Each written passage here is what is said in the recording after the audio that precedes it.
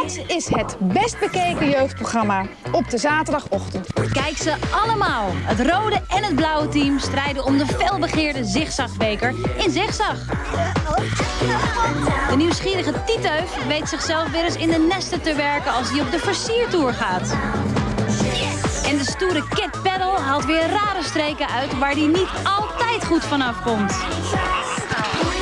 Dus, iedere zaterdagochtend naar de vetste programma's bij 10 Plus. Zeppelin.